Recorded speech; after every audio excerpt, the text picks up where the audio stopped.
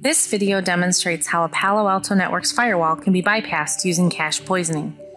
In Palo Alto's design, once a connection is established, then inspection stops. Subsequent connections are allowed by an application cache entry, accelerating the connection. This is great for Palo Alto Networks performance, but hackers can use this default feature to bypass Palo Alto Networks application control by using what's allowed by the policy and then substituting a different application that is supposed to be blocked. Instead of being blocked, the connection is allowed. Let's see this in action. Our test box is a Palo Alto 2020 appliance installed with the latest version of Pan OS 5.0.0. We have a very simple policy installed that is comprised of three rules. The first rule blocks access to Facebook from our internal protected network. Here you see this is the Palo Alto Network's Facebook application signature. The second rule allows any traffic from our internal protected network. The third rule is a cleanup rule that blocks any other connections. In summary, our security policy specifically blocks Facebook and allows outbound connections from our protected network.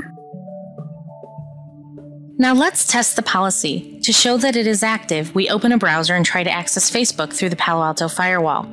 As you can see, it is identified correctly as the Facebook application and is blocked. Here we see the Palo Alto block page. All is fine and good. Our policy is in place and we are protected. Is this correct?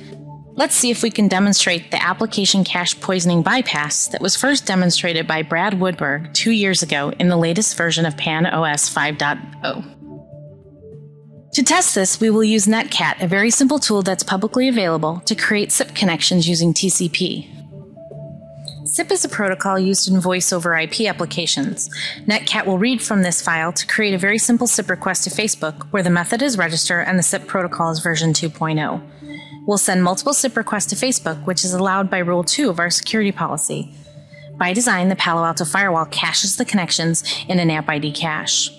In order to see this, we will use the Palo Alto CLI command, show running application cache. Let's begin our demo by sending SIP connections to Facebook. As this runs, let's check the app ID cache. We can see that Palo Alto identifies the connection as SIP and has created a cache entry. When we check the app ID cache, we see there are a lot of hits on the cache above the threshold of 16. The Palo Alto firewall is now making security decisions based upon this cache entry. Connections to Facebook on port 443 that match will be allowed. Now the Palo Alto firewall has stopped inspecting for applications. The connection does not match Rule 1 of the security policy. There is no block page, and the connection is allowed by the App ID cache entry. The Palo Alto firewall security policy has been bypassed.